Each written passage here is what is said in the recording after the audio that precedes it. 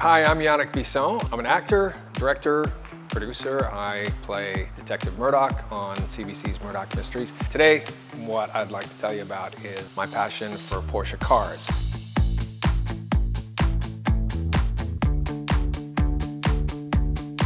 We're at Mantella Autosport. Uh, this is a uh, specialty shop.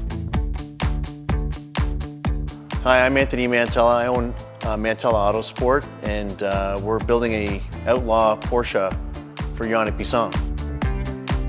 Well, what captivated me as a, as a young kid was definitely the shape, but they also had this very serious racing cred. They would make cars, they would release a certain amount so that they could qualify for homologation, and then they would race that car out there on the track, and it was the real deal. All I'm really doing with this car is I'm uh, making Yannick's dream come alive. That's all. Um, yeah. Just that. The majority of the people that I've, I, have i have captured to work on Yannick's car have come from the race industry.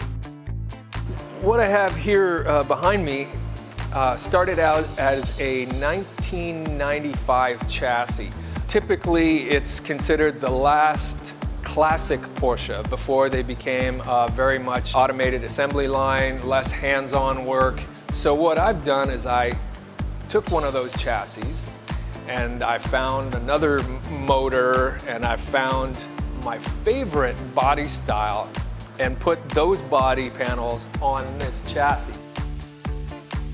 Way back in the day, the Bisson crest was actually green, yellow, and black. And so I set out to find a tartan that I could put in my custom car that was green, yellow, and black. And I happened to find the exact fabric that was used in my very first car as a kid uh, by this Volkswagen supplier in Europe. And so I'm gonna have the same thing, green version, as the very first car I bought when I was 16 years old. And I'm really, really excited about it. There is an individuality to them. You can configure them the way you like them. So you can say, I suppose, that I feel like I'm driving my individual taste.